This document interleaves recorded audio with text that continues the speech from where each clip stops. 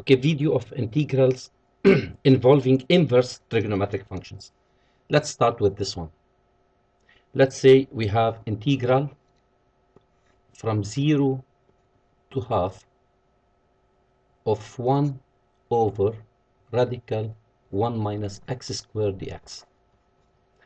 Dx should be du. 1 minus u squared should be du over okay let's let's see uh, it looks like which one. Integral of du over radical. 1 minus u square. Du is the same as u prime dx if u is a function in x right? Because derivative of u is u prime dx. If we are working with u as a function of x the answer is going to be sine inverse sine inverse I, I'm not uh, proving this but we are just using this rule. Sine inverse u plus c where for sure absolute value of u should be less than 1 why? Because we are dealing with sine right? Absolute value of u less than 1 means minus 1 less than u less than 1 sine is uh, between minus 1 and 1 so u in sine inverse should be belong between minus 1 and 1 right between minus 1 and 1 okay this one is from 0 to half. It's easy. Directly it's dx over over radical 1 minus x squared as du over radical 1 minus u squared where u equal x over here. So directly the answer is going to be sine inverse right? Sine inverse of x from 0 to half. And we substitute sine inverse half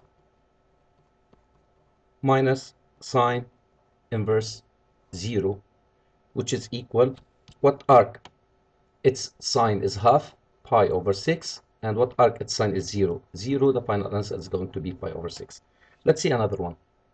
Integral of 1 over radical 16 minus x squared dx.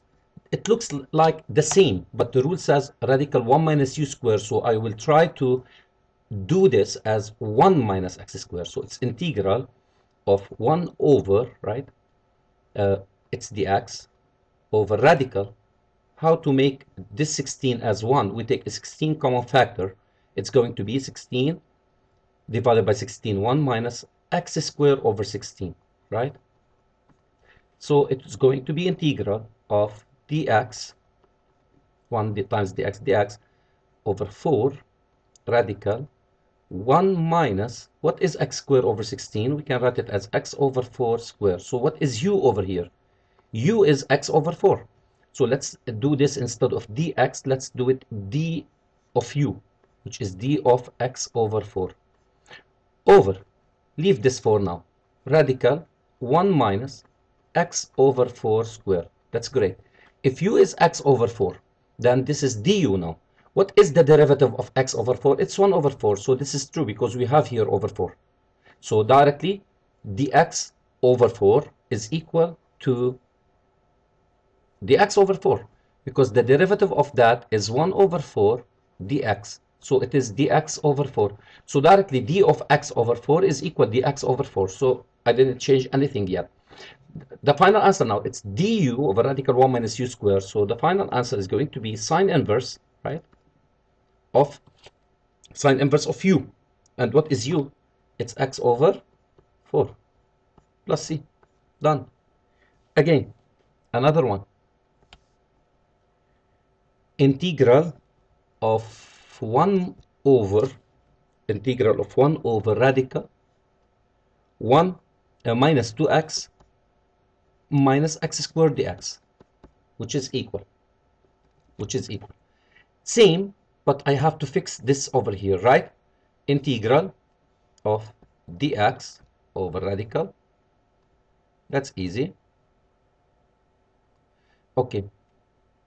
To complete the square over here we take the coefficient of x which is 2 and we divide it by 2 always divide by 2 it's 1 we square it. 1 square is 1 we add 1 and we subtract 1 so 1 minus 1 minus 2x minus x squared is equal to integral of dx over radical 1 minus 1 minus plus 2x plus x squared, taking the minus common factor, which is equal again.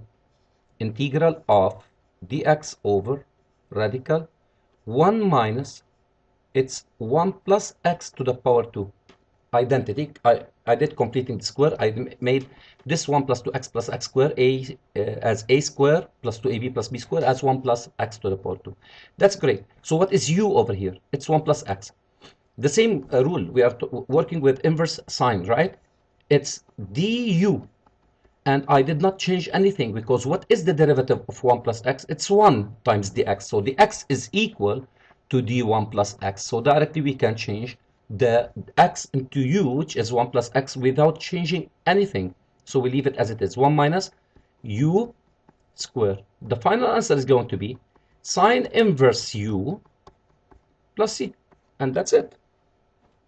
Let's do another one. Let's do another one. Okay, integral. Integral of, let's say integral from 1 to radical e of 1 over x radical 1 minus ln square x. That's good. dx. That's great. Also, it's easy. It's equal integral from 0 to radical 2, uh, to radical uh, e, I mean, um, of, okay, what is u? u is ln x, because this is u square over here. ln square x is u square. So we make this d ln x. What is the derivative of ln x? It's 1 over x dx. So 1 over x dx is simply d of ln x, right? Over radical 1 minus ln square x. We didn't add anything, so we, we any constant or anything, so we don't change, we don't multiply with anything outside. That's it. It's du over radical 1 minus u square. So the, the, the uh, answer is sine inverse u, which is ln x from 0 to radical e. And that's simple now. We just, it's sine inverse ln of radical e, right? Instead of x, minus sine inverse of ln 0, right? Sine inverse of ln 0. So, it is simple. Or, it's better for you, I'm thinking of something. If we said that u equal, it's much better because this one is, is uh, we have we need to we need to uh, uh, make it more uh, it's complicated a little bit we need to make it e power half and ln 0 is minus infinity sine infinity is what. It's it's better for you to say since u is ln x. So for x goes to 1 this means that u goes to ln 1 which is 0 right? Now this is 1 anyway this is 1 not 0 so okay. And uh, for x goes to radical e. This implies that u which is equal to ln uh, x it's uh, ln radical e. This means it's ln e power half which is half ln e right? And ln e is equal to 1 so it is half. Directly you can find the answer now right? Uh, this is uh, sine inverse of half and minus sine inverse of ln 1. ln 1 is 0, so it's sine inverse of 0. What angle, what arc makes inverse, uh, uh, makes the sine half? It's pi over 6, and this is 0, so pi over 6 minus 0, the final answer is going to be pi over 6. That's it. Same for other trigonometric rules for other trigonometric rules. Inverse integrals. I, I made just four for sine inverse.